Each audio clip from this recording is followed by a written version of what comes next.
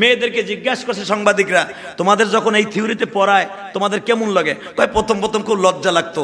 ওড়না দিয়ে মুখ ঢাইকে পড়তাম, কিন্তু এখন আর কোনো লজ্জা লাগে না। হ্যাঁ নাউজুবিল্লাহ, তো আসতে কইলেন না। আপনি তো আপনার ছেলে মেয়েটারে ব্যাগটা ঘাড়ে করে নিয়ে স্কুলে ছেড়ে দিলেন। স্কুলের রুমের মধ্যে কি পড়াইতেছে আপনি তো আর জানেন না। মেয়েও লজ্জায় আপনার কাছে বলে না যে, মা, আজকে আমাদের ম্যাডাম ইয়ে পড়াইছে। মা আজকে আমাদের স্যার এটা পড়াইছে মেয়েদের গোপনীয় বিষয় যেটা, এটা যদি পুরুষে পড়ায়, ওই পুরুষের অবস্থা আর ওই মেয়ের অবস্থা কি হয়? আপনারা দেখছেন, পেপার ফেসবুকে আসছে, মেয়েদেরকে জিজ্ঞাসা করছে সাংবাদিকরা, তোমাদের যখন এই থিওরিতে পড়ায়, তোমাদের কেমন লাগে? কয়, প্রথম প্রথম খুব লজ্জা লাগতো, ওড়না দিয়ে মুখ ঢাইকে পড়তাম, কিন্তু এখন আর কোনো লজ্জা লাগে না। হ্যাঁ নাউজুবিল্লাহ তো আসতে কইলেন না। অর্থাৎ আল হায়া ও সোহবাত মিনাল ইমান রসুলের এই হাদিসটা শিক্ষা প্রতিষ্ঠান থেকে উঠে গেছে।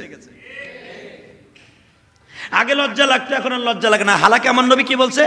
আল হায়া ও সোহবাত মিনাল পড়েন পড়েন। আল হায়া ও সোহবাত মিন ইমান আমার উম্মাতের সবচাইতে বড় সোয়াবের কাজ হলো, গুনাহের মূল কেন্দ্রবিন্দু হলো যখন তার কোনো লজ্জা থাকবে না।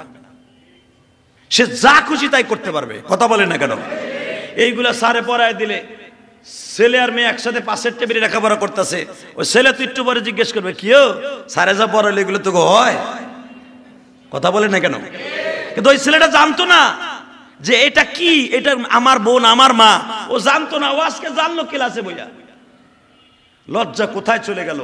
আর লজ্জা যাদের থাকবে না, তাদের গুণা করার কোনো কোনো চিন্তা ভাবনায় থাকবে না যে কোনটা গুনা কোনটা জেনা, কোনটা নাপাক, কোনটা নাজাক, কোনটা পাক, এটা তাদের অন্তরে থাকবে না। আল্লাহ আমাদেরকে হেফাজত করেন। জোরকানা আমিন। আরও জোরকানা আমিন। বাজান এবার আমার দিকে তাকান, যখন যেই দেশের লজ্জা থাকে না, ওই দেশকে আল্লাহ উল্টে দেয়, বিভিন্ন আসাব গজবের মধ্যে ফেলায় দেয়। এই যে কমে লুদদেরকে আল্লাহ কেন ধ্বংস করে দিলেন? বারবার আল্লাহ সিগন্যাল বাতি ধরাইছে, এ লুত নবী! কারণ ওই নবীটার নামই ছিল লুত। আসলে তার নাম লুত্তি ছিল না, নাম ছিল আবদুল্লাহ। কি নাম? জোরে কর না কেন?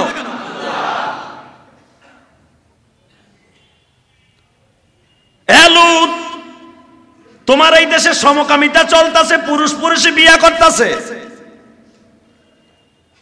লুত্রে তুমি তাদের সিগন্যাল বাতি লাগায় দাও। তারা যদি ভালো না হয়, আমি আল্লাহর গজব দিতাছি। লুত আলাইসালাম ঠিক এরকম মসজিদের মেম্বারে বসে। সমস্ত কমের সামনে দাঁড়ায় পরে বললেন, জুমার মধ্যে আমরা যেরকম জুমায় শুক্রবার বলি আর নবীরা নবীরা বনেছিলেন নবীরা শনিবার আর রবিবার তারা ওয়াজ করত। তাকে পবিত্র দিন ছিল শনিবার। শনিবারের সমস্ত কমের মানুষগুলা মসজিদে ঢুকতো। যেই মসজিদগুলো এখন তারা গির্জা বানায় ফেলছে। এরকম গির্জা ধরে বলি, মসজিদের ভিতরে ঢুকায় কমে লুতের সম্পর্কে আল্লাহর পয়গম্বর লুত বললেন ও আমার কমের মানুষগুলি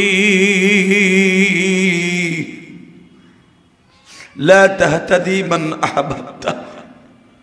হেদায়েত আমি দেওয়ার মালিক না, হেদায়েত দেওয়ার মালিক কে? তোমরা যেটা শুরু করছ, গজব কিন্তু আসিয়া যাবে।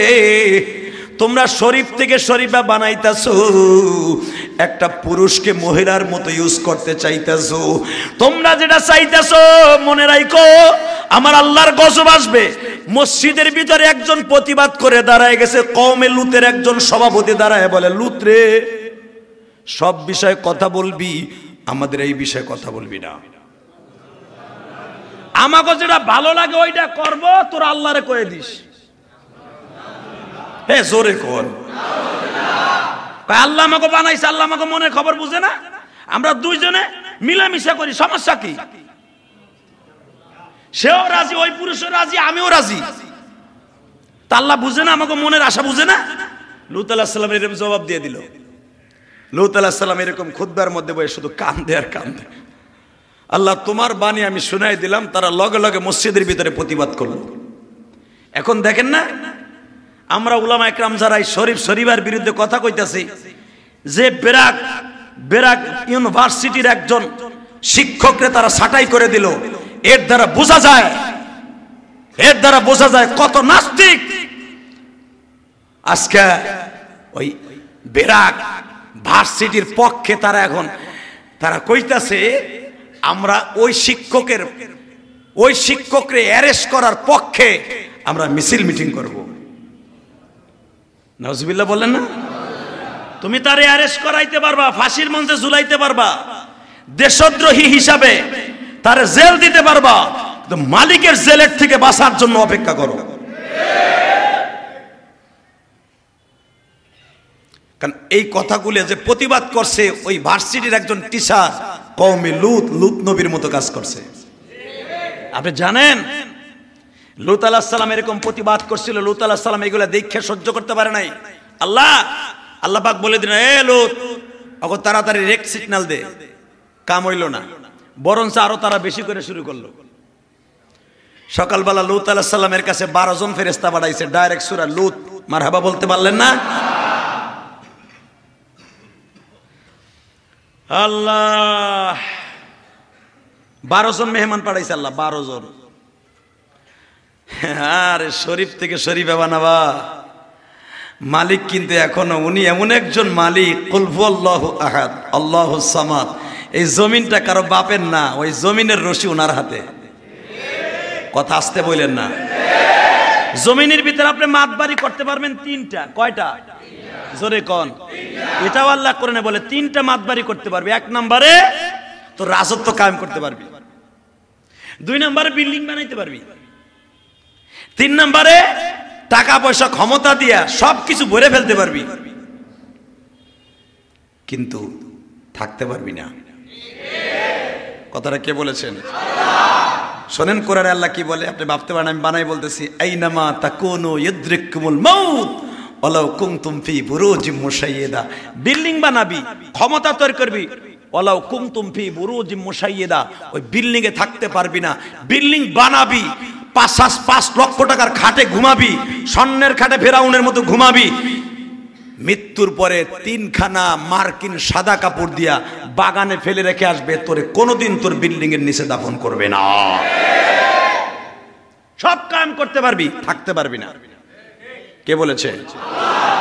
মনে রাখবেন এটা। আমি প্রতিবাদ করলে, শরীফা থেকে শরীফের বিরুদ্ধে প্রতিবাদ করলে আপনি আমার পারবেন।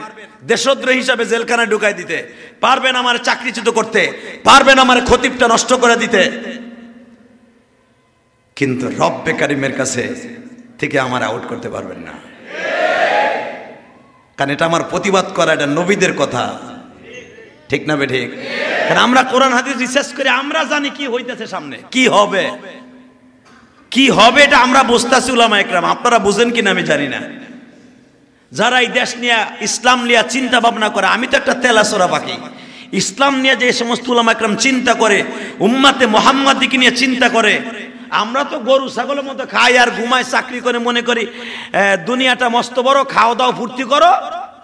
বাস বা কয়দিন চিন্তা করো। এই এই খালি চিন্তা করো। কিন্তু মরার পরে কে জিন্দিগি হবে, এইটা নিয়ে যারা চিন্তা করে, তারা ভাবতাছে এই দেশ কোন দিকে যাইতেছে।